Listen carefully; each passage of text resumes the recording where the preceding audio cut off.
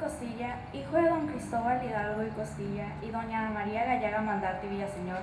nació el 8 de mayo de 1753 en el rancho de San Vicente, perteneciente a la hacienda de San Diego Corralejo de la Intendencia de Guanajuato.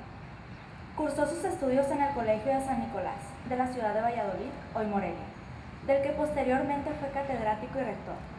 Formó parte del grupo de patriotas que se reunía en Querétaro para lograr la independencia de México,